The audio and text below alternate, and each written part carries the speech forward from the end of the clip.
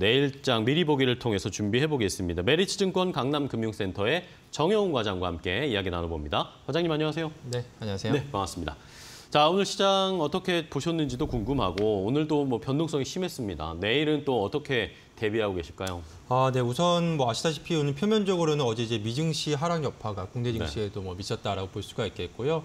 어, 어제 이제 미국에서 이제 FOMC 의사록이 이제 발표가 됐습니다. 근데 일단 다소 이제 매파적인 그런 연준 의사록이 이제 공개가 되면서 어, 그동안에 이제 시장에서는 이제 어, 금리 이제 정점에 대한 그런 기대감이 높았었는데 재차 이제 긴축에 대한 아, 그런 또 우려감이 다시 한번 또 재부각이 되면서 어, 전반적으로 투자 심리가 좀 위축이 됐다 라고 볼 수가 있겠습니다.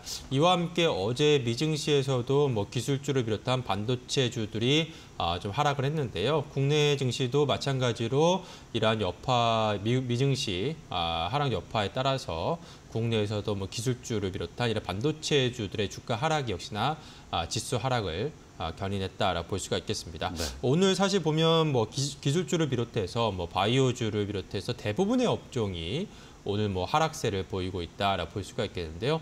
반면에 특징적인 부분은 어, 그동안에 최근에 이제 시장이 안정적인 좀 시장 상승에도 불구하고 어, 최근에 좀 하락했었던 2차 전지주 쪽으로 수급 집중 현상이 또 나타나면서 오늘 또 2차 전지주들은 일제히 또 반등하는 그런 좀 모습이 나타났다라고 볼 수가 있겠습니다. 그래서 어, 사실 이제 전체적으로 시장 오늘 지수 하락은 매크로적인 부분에서는 표면적으로는 미국의 이러한 긴축에 대한 좀 우려감, 재부각이라고 할 수가 있겠지만 디테일하게 시장의 이제 업종과 종목들을 좀 들어가게 보게 되면 어, 실질적으로는 어, 과거 이제 2분기 어닝 시즌 이전 당시처럼 이제 특정 종목, 특정 섹터, 즉 이제 2차 전지 업종을 중심으로 한 네. 특정 업종으로의 수급 쏠림 현상이 좀 심화된 아, 하루가 아니었나 싶습니다. 아, 그러한 이유가 이제 사실상 이제 어제를 기점으로 해서 2분기 어닝 시즌이 이제 마무리가 되면서 그 동안에는 이제 지난주 정도 지난주까지만 하더라도 이러한 2분기 어닝 시즌을 맞아- 맞아서 이제 실적주 쪽으로 수급이 좀 이동하는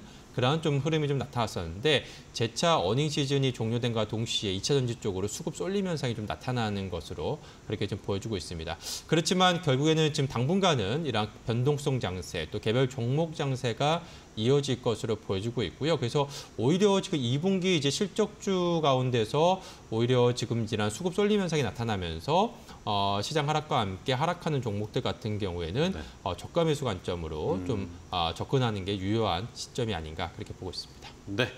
자, 어쨌든 오늘 시장이 좀 하락세가 오전에 깊게 나왔다가 이것을 좀 빠르게도 만회하는 모습들이 보였기 때문에 실적이 뒷받침되는 또 관심이 가는 그런 종목들은 저가 매수해 볼 찬스가 됐을 수도 있을 것 같습니다. 그러신 분들 실제 계실 것 같고요. 자, 그럼 내일 시장에서는 저희가 어떤 업종이나 섹터를 공략해 보면 좋을까요? 아, 네. 오늘 사실 2차 전지 업종 외에 좀 주목할 만한 섹터 중에 하나가 이제 handset이 아닌가 싶습니다. handset. 음. 네, handset 중에서도 이제 애플 아이폰 관련한 네. 관련주들 같은 경우에 어, 지금 좀 주목을 해봐야 되지 않을까 싶은데요. 어, 그러한 이유가 어제 이제 언론 보도- 보도를 통해서 보시면 아시겠지만 애플이 올해 아이폰 15 시리즈 신제품 아, 신제품 관련해서 네. 부품사들에게 세트 출하량 목표치를 어, 이제 그 제시를 하면서 어, 지금 가동률 상향을 통한 생산 아, 증량에 대해서 요청을 했다라는 그러한 또 소식이 좀 알려졌습니다. 네. 그로 인해서 오늘 이제 관련해서 관련주들이 좀 주목을 받고 있는 상황인데요.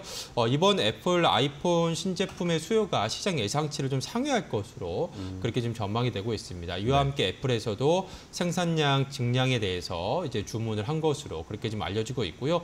기존의 이제 아이폰 12, 13 시리즈의 교체 수요가 이제 도래하면서 어, 올해 이제 생산량이 좀 증가할 것, 판매량이 좀 증가할 것으로 그렇게 지금 예상이 되면서 공격적인 출하 전략을 취하는 것으로 그렇게 지금 알려지고 있는 상황입니다. 네. 지금 아이폰 교체 수요만 하더라도 좀 2억 대에 달하는 것으로 좀 알려지고 있는 상황이기 때문에 어, 하반기 이번 아이폰 출시를 앞두고서 관련 부품주들이 다시 한번 좀 주목받을 가능성이 높지 않을까 그렇게 보여주고 있고요. 그렇다고 한다면 아이폰 부품 판가 상승과 물량 증가 효과와 함께 하반기 이러한 실적 반등에 대한 좀 기대감이 좀 높아질 수 있는 시점이기 때문에 관련한 국내 부품주 들 뭐 대표적으로 뭐 아시다시피 뭐 LG 디스플레이라든지 LG 이노텍을 비롯한 이러한 부품주들 같은 경우에 어, 주목을 해봐야 되지 않을까 그렇게 보고 있습니다. 네, 좋습니다. 자, handset 또 아이폰 관련된 어, 종목들 미리 좀 선점을 해볼 필요가 있겠습니다.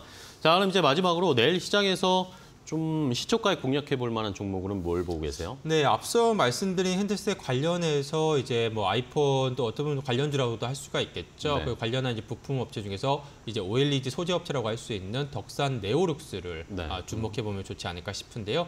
어, 최근에 덕산 네오룩스 같은 경우에는 어, 꾸준하게 주가가 좀 상승세를 보이고 있습니다. 오늘 같은 경우에도 이러한 시장 쏠림 현상이 좀 나타났음에도 불구하고 오늘도 3% 넘는 어, 상승세를 아, 네. 기록을 했고요. 특히나 최근에 수급을 보게 되더라도 기관 투자자들이 거의 8거래일 연속해서 어, 순매수세가 주, 유입되고 있는 상황이 있고 또 최근에 또 외국인 투자자들까지 지금 매수세에 좀 가담하는 그런 좀 모습이 나타나고 있어서 사실상 이 외국인과 기관의 쌍끌이 지금 매수세가 최근에 좀 유입되고 있다 볼 수가 있겠습니다.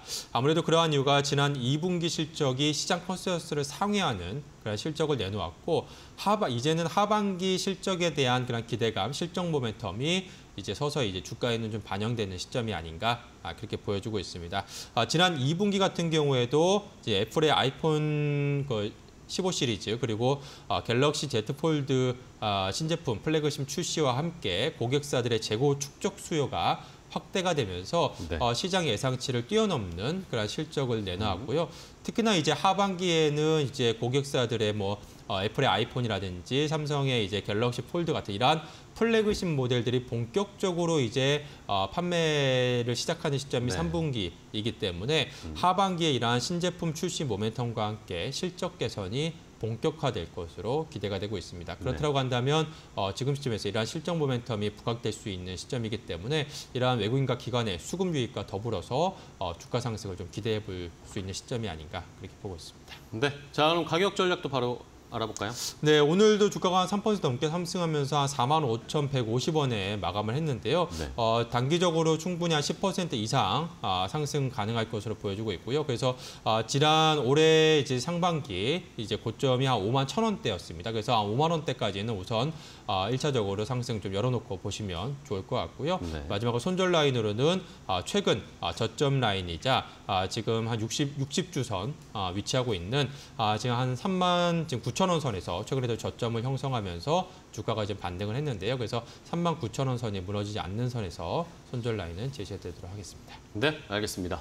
자, 이렇게 이 핸드셋 관련 종목들 살펴볼 필요가 있다라고 해주시면서 덕산 네오룩스를 내일 시초가에 저희도 한번 지켜보도록 하겠습니다. 목표가 5만 원, 손절 라인 3만 9천 원 제시해 드렸으니까요. 참고해 주시죠. 자, 이렇게 오늘 내일장 미리 보기 정영훈 과장과 함께 이야기를 나눠봤습니다. 오늘도 좋은 전략과 종목 소개해 주셔서 감사하고요. 다음 시간에 과장님 또 뵙도록 하겠습니다. 고생 많으셨어요. 네, 고맙습니다.